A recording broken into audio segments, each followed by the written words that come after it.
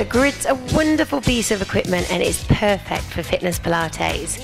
If you'd like to come along to the workshop, all the details will be to follow. I'll see you soon.